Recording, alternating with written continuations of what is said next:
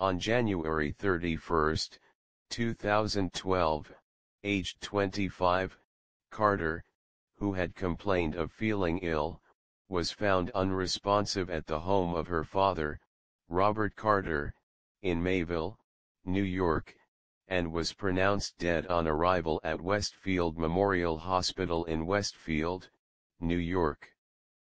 While not attributing a cause of death, a Chautauqua County Police Incident Report and Supplemental Overdose Follow-up Report said Carter, identified by her married name of Leslie B. Ashton, had suffered an overdose and was taking the prescription medications olanzapine, cyclobenzaprine, muscle relaxer, and alprazolam, Xanax.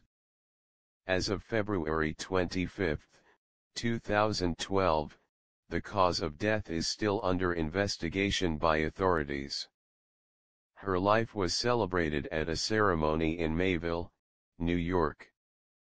Many family members attended the funeral, including Aaron Carter, but Nick did not attend because of a family feud.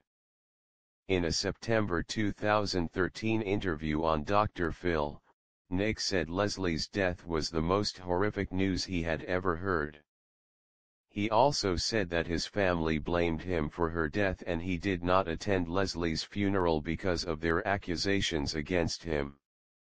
Leslie Carter is buried in Chautauqua Cemetery in Chautauqua, New York.